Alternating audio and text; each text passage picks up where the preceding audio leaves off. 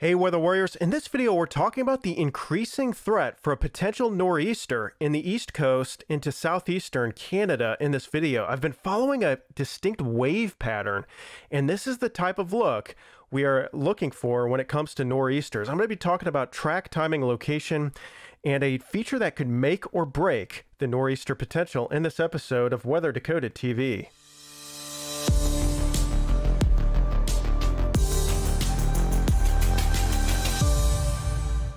All right, guys, what we're looking at is the upper levels here, the jet stream, as we head towards mid-December, 1216 to 1218 is the time period we're looking at. And you can see these little dips in the uh, jet stream. These are troughs.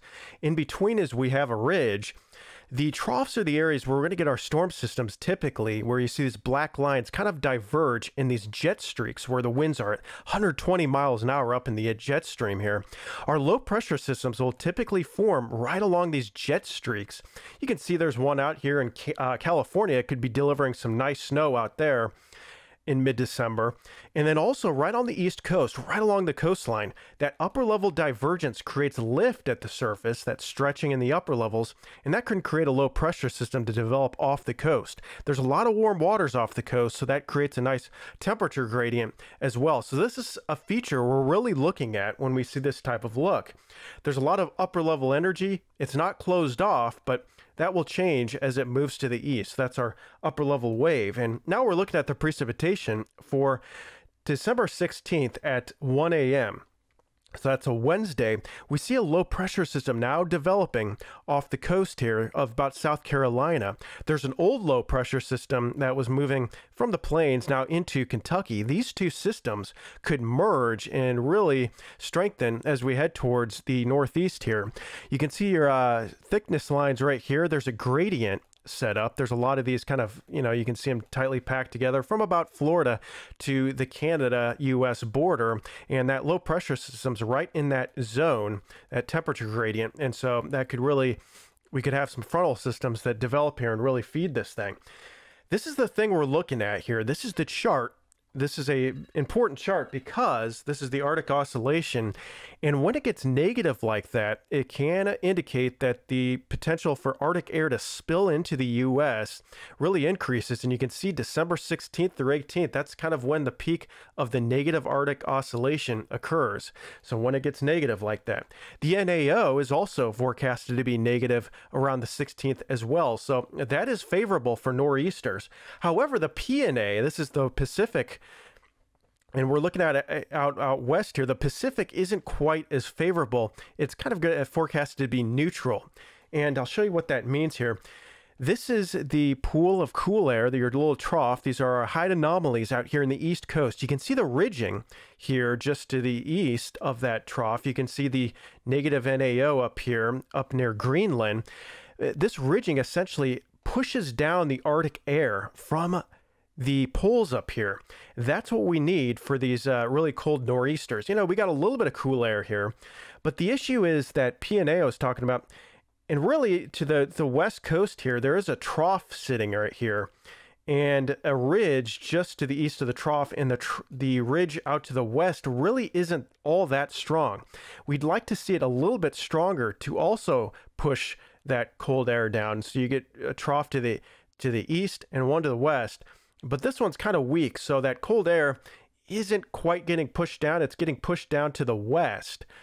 And because of that, we kind of have a, a ridge in between. That's going to limit the cold air for this nor'easter just a little bit. But will it limit it enough? That's what we'll talk about here.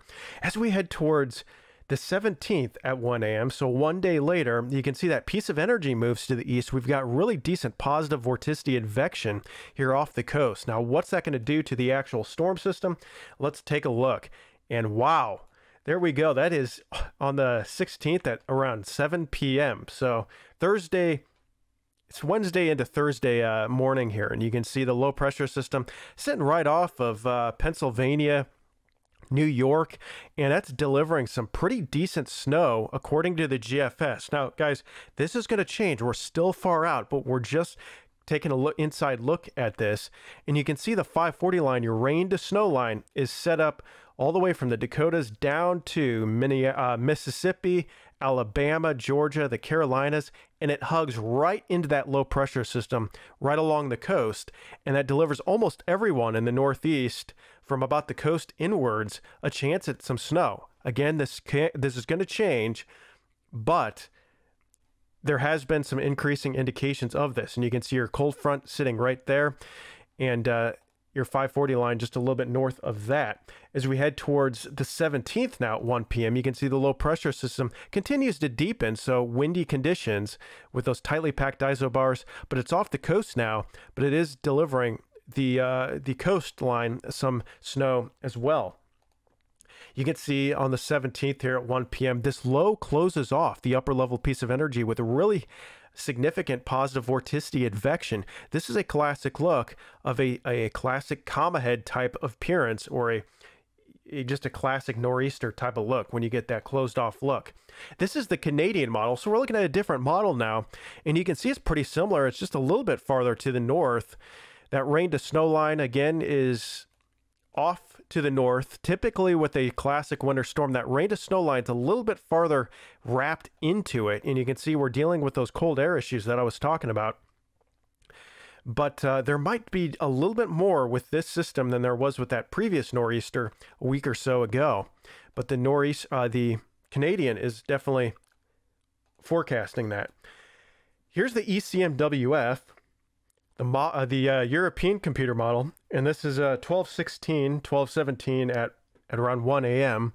So overnight on Wednesday, you can see the low pressure system just off the coast. It's around the same as the GFS, and there's your rain to snow line, and this is uh, uh, indicating some sleet, maybe some mixed precipitation. And your heaviest snow will just form just north of that rain to snow line, and that's right off the coast. You're talking Massachusetts, Connecticut, maybe even Rhode Island, uh, all the way up to New York, New Hampshire, Vermont, maybe even up to Maine with this type of system, even out to Pennsylvania. So we got a, a pretty good snow band on the uh, European computer model, and the trends have been up. And you look at the uh, GFS, look how similar that is. They're in the, really the same location, almost the same strength. GFS is just a little bit too the uh, east here. And so this is the GFS. You can see snow for everyone from the coastline inwards. It's been a while since we've seen something like that. I mean, almost every uh, nor'easter that comes up, it's it's Maine and southeast Canada. But things are things could change. I mean, if you go back a couple runs ago, the GFS was pegging that same area that got the nor'easter a couple weeks ago. So th- this very well could change, guys. And, and but uh, the threat is there again for this really the nor'easter, uh, the northeast location in general. So th- that's why we're, what we're looking at right now. We're just looking at the signal, the amounts, the track that could change. But right now, the general consensus has been to kind of track the low right along the coast. So maybe a little farther north than what this has said, but uh, and give areas really just inland up into southeast Canada a decent snow event, but there has been a slight eastward trend. So this is something we're watching here. This is the column max temperature, and, and this is the maximum temperature from the surface to the mid levels. You can see it's 32 degrees right there, or zero degrees Celsius. And if we go back and look at that, that would uh, put that area right there. So you can see that south of that 32 degree line, it's actually warmer in some levels of the atmosphere. So that would indicate a very wet, sloppy snow. But look, that's really off the ocean. So we'll have to watch that. Again, there, there's a little bit of an issue with warm air with this system, but maybe not quite as much as that previous storm.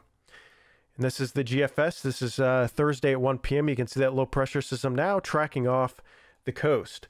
Now, this is uh, something that's going to change, but it, you know the European has forecasted a decent amount of snow with this thing, a foot plus. Again, this is um, way too early for amounts, guys.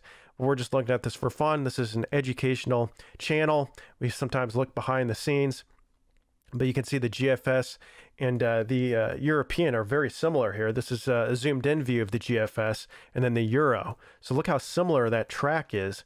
They're almost dead on, and that's uh, pretty remarkable for this time out you even see the snow up in Canada from previous storm just about the exact same.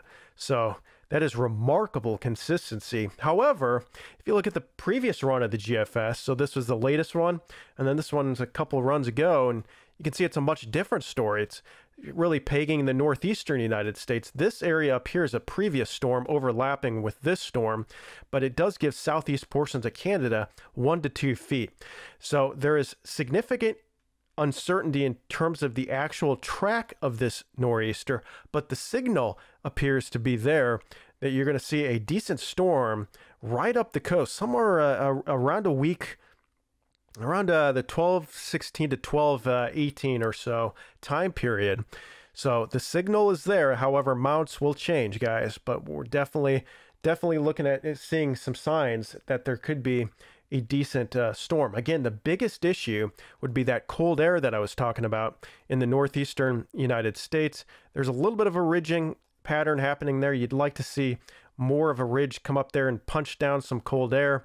Uh, but nonetheless, when you get a wave like this right along the coast with those very warm waters out to the east, a negative NAO, and a negative Arctic oscillation, it is a signal that you could have a decent storm track up somewhere along the coast. So stay tuned, guys. I'll be definitely making more updates for you guys on this video and even post some snowfall uh, accumulation maps as we get closer if it appears that this snow will track in the northeastern United States or southeastern Canada. The trend right now has been just just off to the east northeast, so we'll have to watch that. So stay tuned, guys. Hope you enjoyed this video. Subscribe for if you like videos like this and uh, hit those bell notifications so that you can get those videos up to date right away when they come out hot, hot off the press. Hope you guys enjoyed this video, and we'll see you soon.